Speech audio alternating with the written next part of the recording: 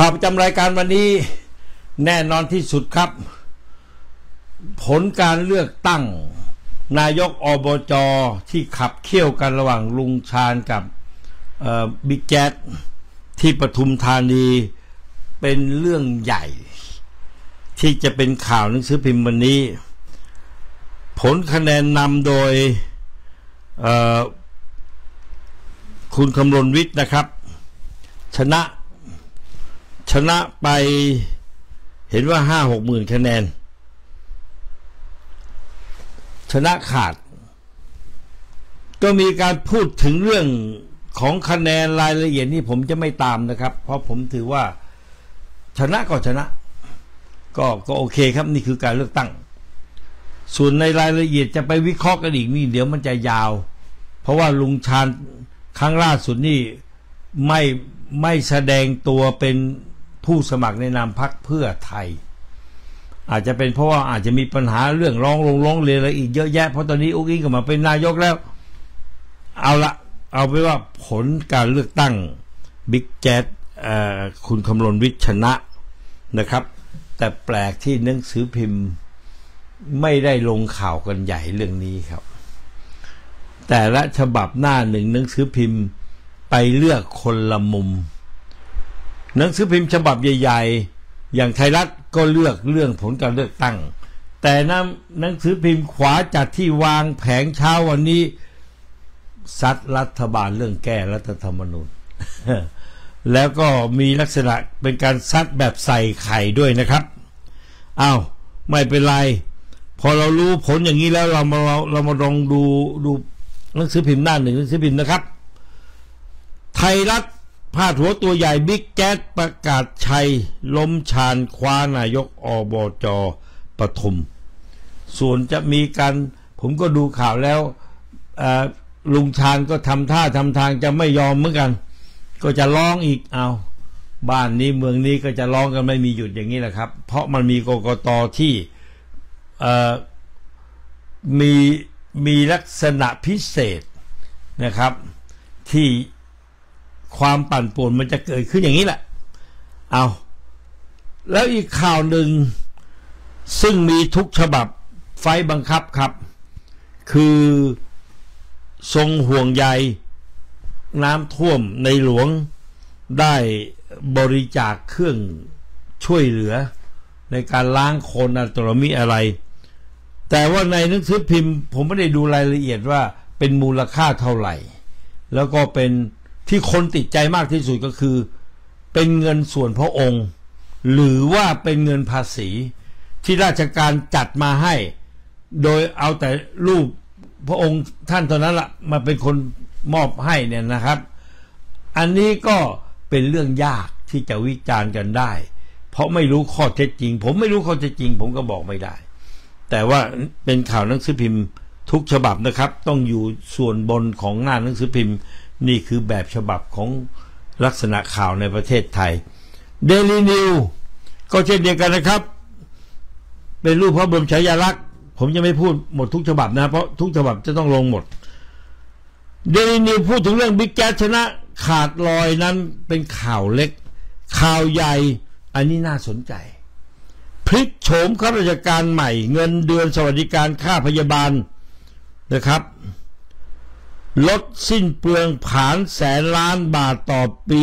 เล็งปรับเท่าเอกชนทันยุคสังคมสูงวัย ในรายละเอียดผมจะไม่อ่านข่าวนะครับ แต่ว่าเก็บรายละเอียดให้ท่านทราบคร่าวๆว่า จะมีการปรับกลไกเเงินเดือนของระบบราชการให้เท่ากับเอกชนไอ้เรื่องนี้เป็นเรื่องใหญ่ที่ต้องมี เป็นเรื่องมานานที่เราพูดถึงกัน แต่มันทำกันไม่ได้ ไม่ได้ทำหรือทำไม่ได้ก็ไม่ทราบอันนี้ถ้ารัฐบาลอิงหนึ่งทำได้ตรงนี้ โอ้ ผมว่าจะเป็นเป็นอานิสงส์ครับข้าราชการก็จะได้เพิ่มประสิทธิภาพ จริง ๆ การปฏิรูประบบราชการนี่ตั้งแต่ทักษิณหนึ่งไทยรักไทยมาแล้วนะครับ ที่ทำการปฏิรูประบบราชการเพิ่มเงินเดือน แล้วก็ให้เออร์ลี่รีทาย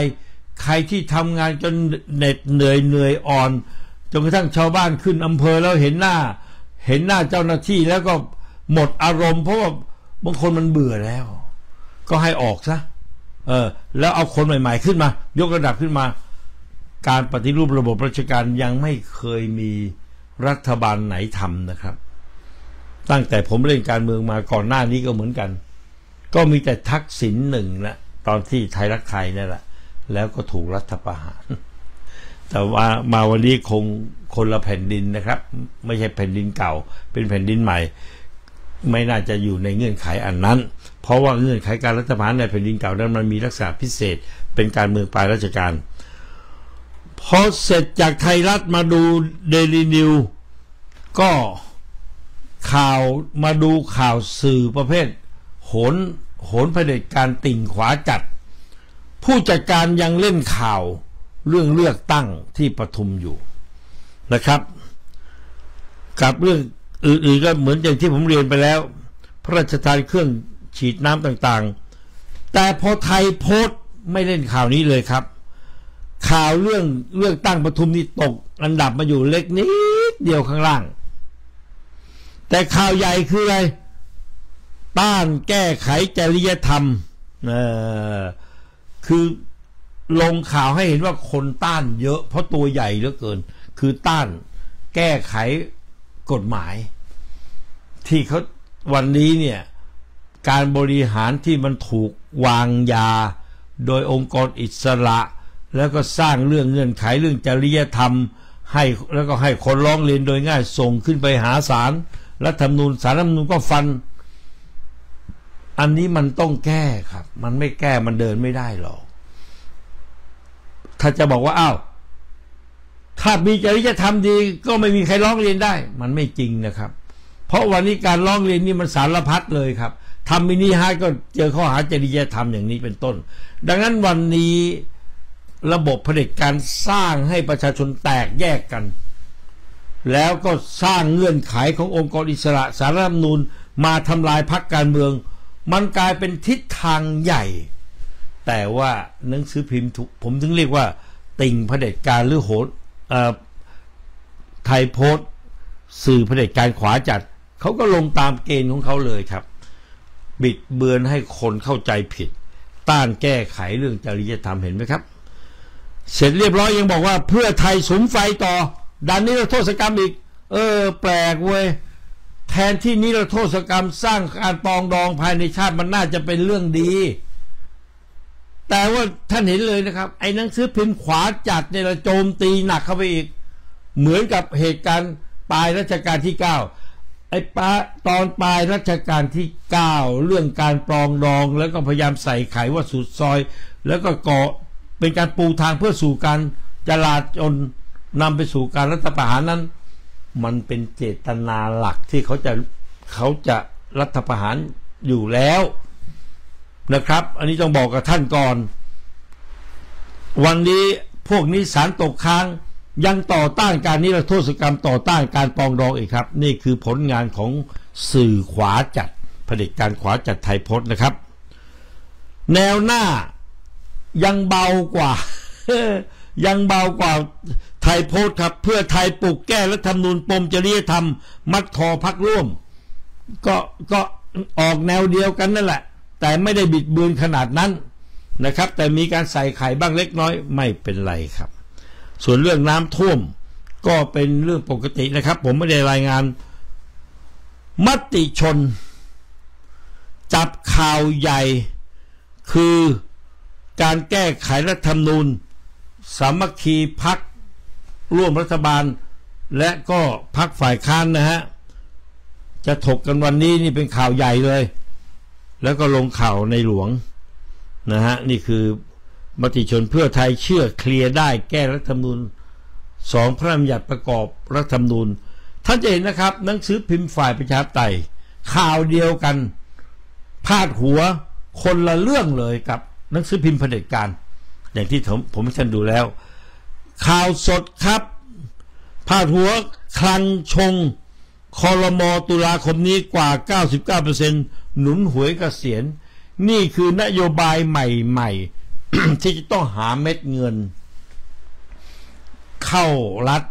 ท่านต้องเข้าใจก่อนนะครับ กลไกของระบบรัฐเนี่ยเงินเนี่ยมันมีจำนวนจำกัดภาษีนี่มีไม่กี่ตัวนะครับ ภาษีตัวหลักๆ คือภาษีภาษีแวดอันนี้มากกับเขาหน่อย ภาษีส่งออกพอส่งออกตกก็เสร็จ อย่างนี้เป็นต้น ดังนั้นไอการหาเม็ดเงินเข้ารัฐบาลเพื่อจะมาบริหาร ถ้าเปรียบเทียบกับสมัยทักษิณตอนไทยรักไทยปี 44 นั้น ก็จะเห็นนะครับ หวยใต้ดินขึ้นบนดิน ก็ได้อีกเดือนหนึ่งอีกพันล้านอย่างนี้เป็นต้น แล้วก็ใช้เงินอันนี้ไปสนับสนุนการศึกษาการบริหารรัฐอื่น ๆ สนับสนุนเยาวชน ดังนั้นวันนี้เนี่ยการหาเม็ดเงินเข้า เข้าพกเข้าหอเข้ากองคลังเพื่อจะมาบริหารประเทศชาตินี่เป็นความสามารถพิเศษจริง ๆ ครับ เท่าที่เห็นมานะฮะนี่คือภาพลักษณ์ของไทยรักไทยที่ เป็นเครดิตที่เชื่อถือกันได้ว่า ถ้าถ้ามีทักษิณหรือเงาของทักษิณมาแล้ว การหาเงินนี่เข้ารัฐนี่จะคล่องขึ้น จะมากขึ้น แล้วก็ผ่านที่ปรึกษาที่คุณพันศักดิ์วิญญาลักษ์เป็นประธานที่ผมคุยกับท่านไปแล้ว ดังนั้นวันนี้ข่าวสดจึงออกในลักษณะที่ว่าเรื่องของออหวยเกษียณ ท่านคงทราบแล้วนะครับ หวยเกษียณ เป็นเรื่องของคนเกษียณไม่มีอะไรเสีย ก็จ่ายเงินเข้าไป ซื้อหวยทุกทุกทุกรอบนะทุกเดือนคล้ายๆคล้ายๆฝากเงินอมสินนั่นแหละแต่เพิ่มอีกกองหนึ่งขึ้นมาสองของข้าราชการเกษียณ เงินไม่หายไปไหน แต่ถ้าถูกรางวัลก็ได้ ถ้าไม่ถูกก็อยู่ในนั้นก็ได้ดอกไป ก็คือทำให้เงินทั้งหมดของ ของของข้าราชการเกษียณเนี่ยมาเป็นพลังหมุนการพัฒนาประเทศนะครับ มาถึงกรุงเทพธุรกิจอันนี้น่าสนใจ นี่คือเส้นทางการหาหาเงินเข้ารัฐ กรุงเทพธุรกิจหน้าหนึ่งพาดหัวตัวใหญ่เลยครับ รัฐหรือโครงการ สร้างภาษีครั้งใหญ่ ดึงธุรกิจใต้ดินขึ้นเข้าสู่ระบบ ไอ้ตัวนี้แหละครับ อีกมหาศาล ในแผ่นดินเก่าก็มีคนต้าน แต่ต้านแล้วก็นำไปสู่การรัฐประหาร เพราะแผ่นดินเก่าเป็นการเมืองปลายรัชกาลที่ผมย้ำแล้วย้ำอีกนะครับ ไอ้เปรมเนี่ยเป็นตัวหลักที่จะทำลายระบบประชาธิปไตย ส่วนจะได้รับคำสั่งจากใครโดยตรงนั้นอีกเรื่องหนึ่ง แต่ว่ามาแผ่นดินใหม่นี่ดูท่าทางจะปลอดโปร่ง ดังนั้นการหาเงินเข้ารัฐนะครับ โดยการเอาธุรกิจใต้ดินขึ้นบนดิน ธุรกิจนอกระบบเข้าสู่ระบบนะครับ แล้วก็มีสิ่งที่เรียกว่า negative income tax ท่านดูนะครับ มีตัวผมขยายมาให้ท่านดูละเอียดอีกทีหนึ่งว่า ด้านหลักอันหนึ่ง คือเงินภาษีจะต้องเข้ามาสู่ระบบ ตรงนี้ต้องขอบคุณที่เขาสื่อกรุงเทพธุรกิจหน้าหนึ่งนี่เขาทำชัดเจนเลย อันที่หนึ่งคืออปฏิรูปภาษี เพิ่มจัดเก็บภาษีให้มีประสิทธิภาพ การปฏิรูปนี่เป็นเรื่องทุกรัฐบาลต้องทำแต่ว่าเวลาทำจะถูกชาวบ้านด่า เพราะชาวบ้านต้องยอมรับความจริงนะครับ ชาวบ้านทุกคนเสียภาษีหมดจริง ในแง่ภาษีผู้บริโภค แต่ภาษีเงินได้ที่ยื่นพงด90 นี่ตัวเลขที่ผมเคยติดตามมาเนี่ยในคน6 70ล้านคน แรงงานทำอยู่ประมาณ30ล้าน40ล้าน เก็บคนที่เสียภาษีเงินได้ 20กว่าล้านเท่านั้นเอง จริงๆคำว่าปฏิรูปภาษีคือการขยายฐานภาษีออกไปนี่สำคัญมาก แต่ว่าถ้าใครพูดเรื่องภาษีแล้วก็จะเสียคะแนน แต่ว่านี่คือทิศทางที่ต้องทำเดี๋ยวท่านจะเห็นนะครับ โดยเฉพาะภาษีที่เราเรียกว่า negative income tax อันนี้สำคัญมากอยู่อันดับที่สี่อันดับที่สอง ขยายฐานภาษี เศรษฐกิจนอกระบบเข้าสู่ระบบ ธุรกิจใต้ดินเข้าระบบภาษี อันดับที่สามเก็บภาษีบริษัทข้ามชาติ อันนี้เราละเลยภาษีใหม่ๆ ที่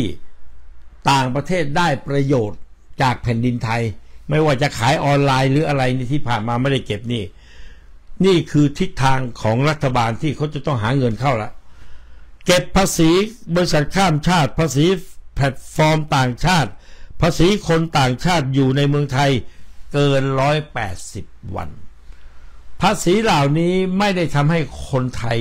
เดือดร้อนนะครับ แต่เป็นทำให้คนไทยได้ประโยชน์ จากการเก็บภาษีบริษัทข้ามชาติ ส่วนภาษีอินคัมเอ่อ negative income tax ที่บอกว่าลดรายจ่ายสวัสด ลดรายจ่ายสวัสดิการปรับมาใช้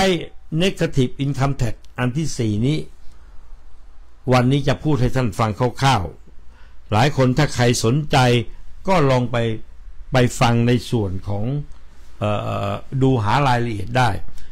เก็บภาษี negative income tax เนี่ยหมายถึงว่าคนที่เสียภาษีและมีรายได้น้อยเนี่ยจะ นอกจากเสียภาษีน้อยแล้ว ยังจะได้รับเงินช่วยเหลือจากรัฐอีก อันนี้ทั่วโลกเขาใช้กันหมดแล้วนะครับ ประเทศเจริญนี่อย่างอเมริกาเนี่ย ผมอยู่อเมริกาก็ต้องเสียภาษี จะเรียกว่า negative income tax ก็ได้ นั่นหมายความว่า ผมได้รายได้ ผมก็ต้องแจ้งเสียภาษี และรายได้ผมต่ำ ผมก็อยู่ในเกณฑ์ที่เขาเรียกว่า low income พวกรายได้ต่ำผมก็จะได้รับการช่วยเหลือ จากรัฐที่อเมริกานี้ อย่างน้อยที่สุดค่ารักษาพยาบาลฟรีหมดครับผม ไม่ต้อง 30 บาทเนี่ยไปผ่าตัดตามาก็ฟรีเนี่ยที่เห็นเนี่ยรวมตลอดทั้งการช่วยเหลือเงินเมื่อรัฐเขาจะช่วยเหลือเงินพิเศษต่างๆ กรณีเกิดโควิด ผมก็เคยรายงานท่านแล้วว่าผมก็ได้เงินช่วยเหลือ กรณีน้ำมันแพงพวดพลาด รัฐแคลิฟอร์เนีย ผมขึ้นทะเบียนอยู่รัฐแคลิฟอร์เนียเขาก็ช่วยเหลือค่าน้ำมัน เราก็ได้ช่วยเหลือ ดังนั้นไอ้ negative income tax เนี่ย ที่ผมให้ท่านดูนี่นะครับ นั่นก็คือปรับระบบคนที่ได้รายได้น้อยเนี่ย จะได้การช่วยเหลือจากรัฐ ตรงเป้าเลยครับ และที่สำคัญ คนที่จะได้รับประโยชน์ก็ต้องยื่นแบบภาษีสิครับ นั่นก็คือการขยายฐานภาษีขึ้นมา ให้มากขึ้น แล้วขยายไปคนได้รายได้น้อย ก็ไม่เสียประโยชน์อะไร มีแต่ได้ประโยชน์ ดังนั้นคร่าวเนี่ยนะครับ negative income tax นี้จะถูกปรับมาจากข่าวนะ จากข่าวรัฐบาลนี้องค์อิงหนึ่งเนี่ย เอามาใช้ในกระบวนการที่ช่วยเหลือ ผู้มีรายได้น้อย และอาจจะเข้ามาสู่ระบบราชการด้วยนะครับ ดังนั้นตัวตัวเงินที่จะเข้ามาใช้เนี่ย มันก็จะได้วินวิน กรุงเทพธุรกิจด้านหลัง นี่หาอีกครับ ไล่จับ เอ่อ สัญญาสินบนข้ามชาติ ในช่วงระยะเวลา 3 ปี โครงการรัฐ 3 หน่วยงานรวมมูลค่า 207 ล้านบาท เป็นเรื่องของการปราบทุจริตนะครับ การปราบทุจริตสินบนข้ามชาตินี้แหมมาดูรายละเอียดนิดนึงนะครับ แล้วท่านจะเห็นนี่ครับ นี่มาดูจากกรุงเทพธุรกิจ ออนไลน์นะฮะ ถึงจะเห็นรายละเอียดว่า การค้าขายระหว่างประเทศ และก็การให้สินบนหน่วยราชการต่างๆ เดี๋ยวนี้มันยึดโยงกับต่างประเทศ โดยเฉพาะในประเทศที่ฝ่ายประชาธิปไตยนะ เราไม่เห็นเรื่องนี้กับจีนเนี่ย จีนนี่เงินเทาถึงได้เยอะไงล่าสุดที่ผมคุยกับท่านคือบริษัทจอร์เดีย ที่ขายเครื่องจักรทางการเกษตร ตั้งแต่ในเมื่อสามปีก่อนนั้นนะในสมัยอายุทธ์ไงแล้วก็มีการจ่ายสินบน สินบนนี้ก็มีทั้งรูปเงินเงินสด ท่องเที่ยวพาไปเที่ยว รวมทั้งหาผู้หญิงมาบริการ เรื่องนี้ไปปลูกอยู่ที่อเมริกา ตลาดหลักทรัพย์อเมริกาเขาเลยเล่นงาน เล่นงานบริษัทต้องยอมเสียค่าปรับ ทีนี้เรื่องมันก็ค้างตั้งเรื่องแล้วอยู่ที่อเมริกา มันก็ต้องเชื่อมกับประเทศต้นทางที่ประเทศไทยเนี่ย ดังนั้นกรณีอย่างนี้เนี่ยมีหลายสิบโครงการ ไม่ว่าจะเรื่องรถรถยนต์โตโยต้าหนีภาษีเห็นไหมครับ แล้วก็ยังมีเรื่องอื่น ๆอีกหลายเรื่อง ดังนั้นเรื่องนี้ก็เป็นส่วนหนึ่งที่หนังสือพิมพ์เขาหยิบยกเรื่องนี้ขึ้นมา แน่นอนก็ต้องเป็นภาระของรัฐบาลที่จะต้องตามนะครับเอาผมเอาคร่าวๆนี้ให้ท่านทราบ ว่ามันมีอะไรบ้าง มีหลายโครงการทีเดียวแล้ววันหลังจะตามมารายงานท่านว่าเรื่องนี้เรื่องนี้เรื่องนี้เรื่องนี้ จริง ๆ ในบางเรื่องนี่ผมเคยรายงานท่านละเอียดไปแล้ว สินบนโตโยต้าเคยรายงานไปแล้ว สินบนจอร์เดียเคยรายงานไปแล้ว ยังมีสินบนตัวอื่น ๆอีก ที่บริษัทต่างชาติมาทำ ธุรกิจในประเทศไทย และโดยเฉพาะที่เชื่อมโยงกับบริษัทรัฐ หรือรัฐวิสาหกิจนะครับ เอานะ เรามาดูต่อไปนิดนึงครับ ข่าวสยามรัฐฉบับสุดท้ายที่วางแผงเช้าวันนี้ ก็ยิ่งเห็นชัดครับ พูดถึงเรื่องการแก้รัฐธรรมนูญ มีการโจมตีว่าหาว่าแก้เพื่อตัวเอง นี่คือการบิดเบือนแต่สยามรัฐบอกว่าเพื่อไทยปัดแก้รัฐธรรมนูญเพื่อตัวเอง แต่ถ้าเป็นไทยโพสต์นี่ใส่ไข่อีกแบบหนึ่งอย่างที่ผมเรียนสั้นไปแล้ว แล้วก็ที่สำคัญคือหวยกเกษียณทำโพกันประชาชนร้อยเกือบร้อยเปอร์เซ็นครับเห็นด้วยหมด ก็จะเป็นโครงการนำร่องที่จะเอาเงินเข้ารัฐ นะครับ ในรัฐบาลนี้เป็นครั้งแรก แล้วก็เรื่องการกระแผงกระตุ้นเศรษฐกิจที่หนังสือพิมพ์ลงข่าววันนี้ ดังนั้นเราจะเห็นว่าเรื่องภาษีนะครับ เป็นประเด็นที่หนังสือพิมพ์พาดหัววันนี้พูดถึงกัน ถ้าอย่างนั้นเรามาดูภาษีอื่นๆหน่อยไหมครับ ภาษีที่เราเก็บได้ปกติก็ได้น้อยอยู่แล้ว วันนี้รัฐบาลใหม่เขาก็ต้องพยายามหาทางที่ทำให้ฐานภาษีกว้างขึ้น แต่เรายังไม่ได้พูดถึงการใช้ภาษีอย่างมีประสิทธิภาพ ไอ้นี่แหละสำคัญครับ เรื่องนี้เป็นเรื่องใหญ่แล้วมักจะพูดไม่ได้ในประเทศไทย เพราะคนที่ใช้ภาษีอย่างไร้ประสิทธิภาพ มักจะมีอำนาจรัฐสูงสุด พูดกันตรงๆเลยก็คือทหารกับวัง วันนี้มีตัวอย่างอีกอันหนึ่ง ก็ต้องถือเอาหลักฐานต่างๆ เพราะคนอื่นไม่ค่อยส่งหลักฐานกันเลยนะครับ หลักฐานมักจะไปปูดอยู่ที่อาจารย์สมศักดิ์ครับ นั่นก็คือป้ายเฉลิมพระเกียรติ ป้ายเฉลิมพระเกียรติที่ท่านเห็นอยู่ตาม ถนนลนแคมสะพานข้ามถนนที่ใช้แล้วนี่ มันต้องเก่านะครับ มันไม่ มันไม่ใช่ใหม่ตลอดเวลานี่มันตากแดดตากฝนน่ะพอเก่าก็ต้องปรับปรุงใหม่สามปีห้าปีต้องปรับปรุงใหม่ และเฉพาะปีนี้เป็นปีปีมหามงคล ก็ต้องปรับปรุงอีกหลายป้าย แต่ว่าแหล่งข้อมูลนั้นไม่ได้เก็บมาทั้งหมด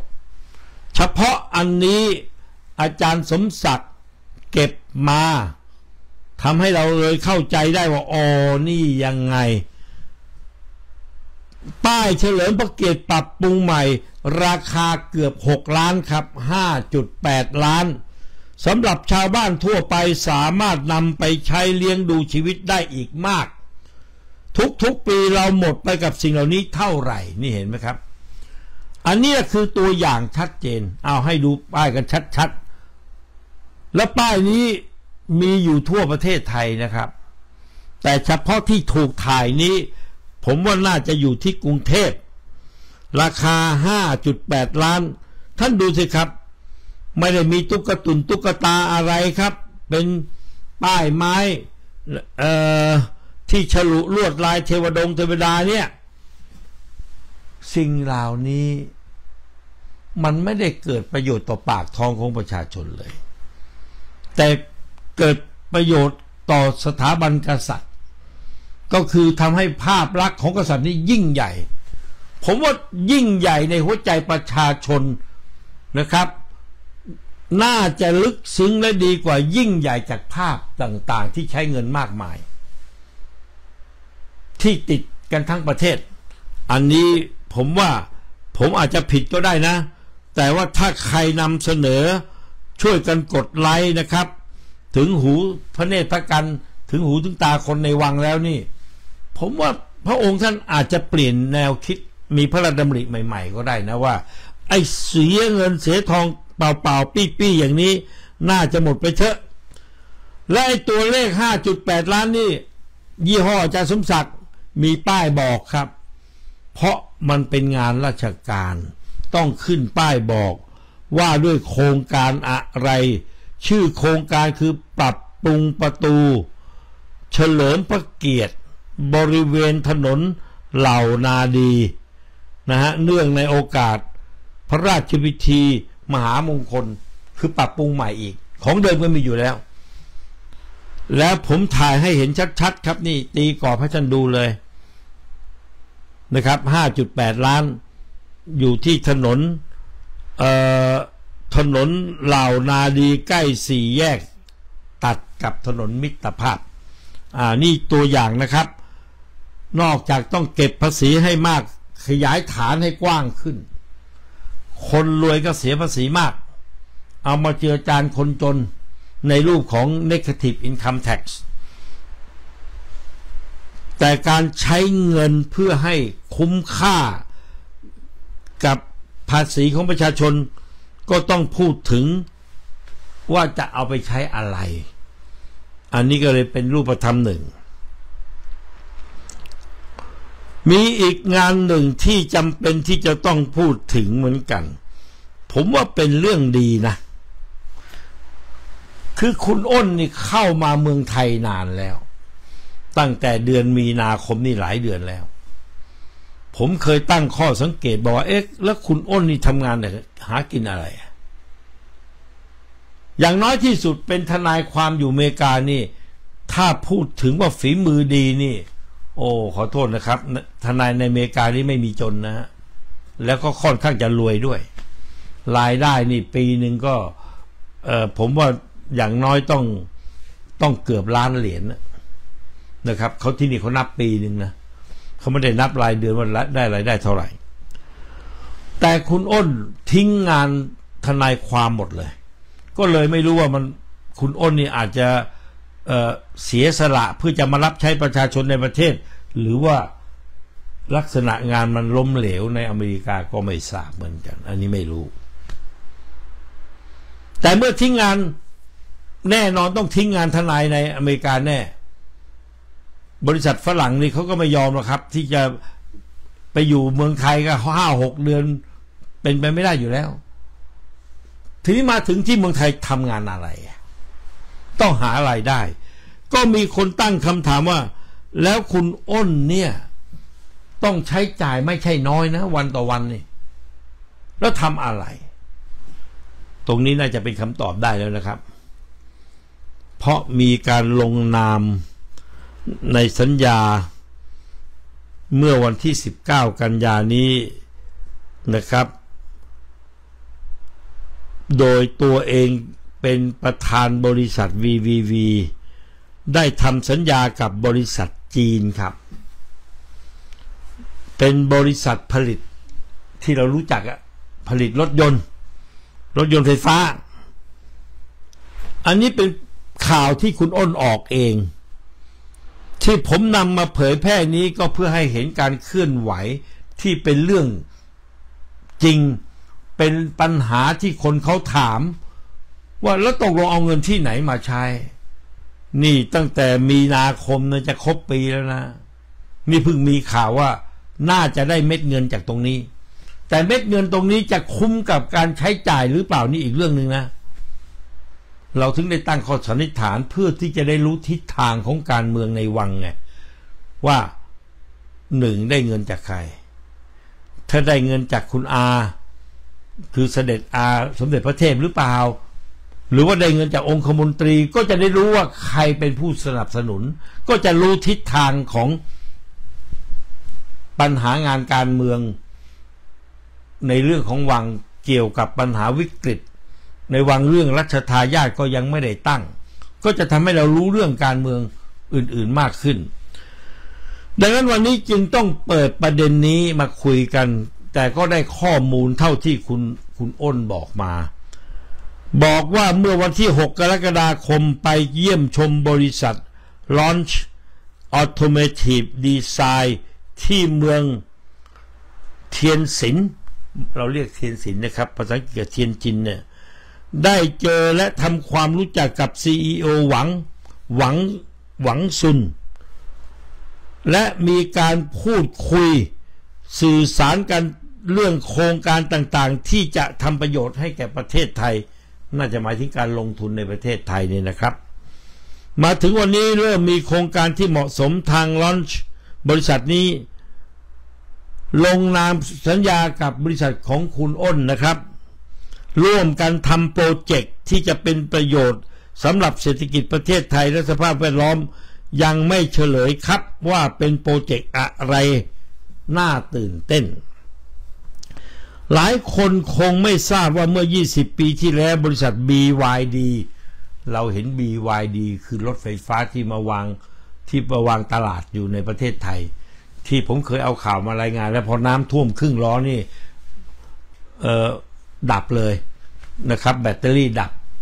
แล้วก็เมื่อวันก่อนมีข่าวมาอีกบอกตัวถังพึ่งใช้มาได้สองปีตัวถังผุอ่าไม่เป็นไรครับ อันนั้นก็ไปปรับปรุงคุณภาพ แต่ให้เรารู้จัก BYD ตรงนี้ เพราะคุณอ้นบอกว่า บริษัท BYD ผลิตฐานสำหรับโทรศัพท์มือถือ วันหนึ่ง CEO ของบริษัท BYD มาหาหวังซุน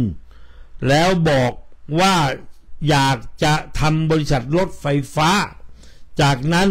ก็ออกแบบและผลิตรถ BYD รุ่นแรกขึ้นมา ให้เขาน่าทึ่งมาก สรุปยังไม่ได้ตังค์แต่แนวโน้มน่าจะเป็นที่ปรึกษา แต่ถึงจะขนาดร่วมทุนไหม อันนี้มีข้อมูลพิเศษที่จะรายงานท่านนะครับ นี่ครับมีการลงนามกันแล้วคุณอ้น แต่แน่นอนถ้าคุณอ้นลงนามอย่างนี้ ต้องเข้าใจก่อนนะครับ คุณโอนไปห้ามประชาชนคิดไม่ได้นะเพราะบริษัทจีนนี่เขาเขาชอบเล่นเส้นอยู่แล้ว คุณอ้นก็มีเส้นจะไปบอกว่าคุณอ้นเป็นลูกกษัตริย์ที่ถูกปลดออกจากทำเนียบแล้ว แต่เห็นไปไหนยังคนยังตามยังกราบการอยู่เลย ก็แสดงว่าคุณอ้นน่าจะมีบารมีในการติดต่อหน่วยงานราชการต่างๆได้ อันนี้ก็เตรียมรับศึกไว้หน่อยนะครับ คุณอ้น ว่าคนเขาอาจจะบอกว่า จีนกำลังจะใช้คุณอ้นเป็นสะพาน เชื่อมกับวังที่จะสร้างธุรกิจ ไอ้ที่ผมพูดนี่ผมไม่ได้เชื่อนะ แต่คุณอ้นต้องเตรียมข้อมูลตอบคำถามเหล่านี้ด้วยเหมือนกัน ในคำตอบคำถามสังคม และก็มีข้อมูลอีกบอกว่า ในการทำโปรเจกต์เกี่ยวกับยานยนต์พลังงานไฟฟ้านะครับ ที่เล่าให้ท่านฟังเมื่อสักครู่นี้ มีบริษัทที่คุณอ้นร่วมทุนอยู่ด้วยกับคุณเสรีอันนี้น่าสนใจ คุณเสรีจินตนะเสรี เป็นอดีตฝ่ายกฎหมายธนาคารแห่งประเทศไทยครับ เป็นเพื่อนรักของดรโกงซึ่งเสียชีวิตไปแล้วนะดรโกงเนี่ย แต่คนนี้เนี่ยยังอยู่คุณเสรีจินตนะเสรี ผมจะถาประวัติมารายงานท่านต่อไปนะครับ ว่าคุณเสรีนี่เออเรารู้แล้วล่ะ เป็นคนมีชื่ออยู่ เป็นเอออดีตฝ่ายกฎหมายแบงค์ชาตินะครับ ข่าวอย่างนี้นะครับ จะทำให้เราเห็นข้อติดตามแล้วเราจะเห็นการเชื่อมโยงต่างๆมากขึ้น นี่คือข่าวสารและบทวิเคราะห์ที่ขาดหายไปในประเทศไทย กับสสสุนัย